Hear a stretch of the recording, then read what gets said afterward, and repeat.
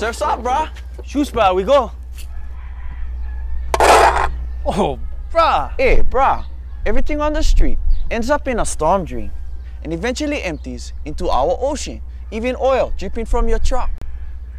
With over a million people on our islands, it adds up quick.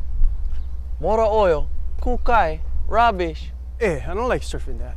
Be an everyday environmental hero. Click into Health Watch 4 on the HawaiiChannel.com